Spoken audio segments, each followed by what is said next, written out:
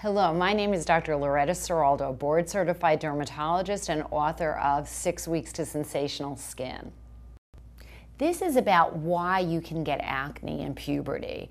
And as a board certified dermatologist, I find it fascinating that there are so many changes in so many of our organs with the onset of puberty. And one of the things that's really the most noticeable change in the skin in puberty is that there's a change in our sebum or our oil content at the time of puberty. We have a maturing of our oil glands.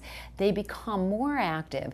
And unfortunately, what that means oftentimes is that there's a little more buildup of debris between the oil and the dead cells, which had been shed even in prepubescent skin.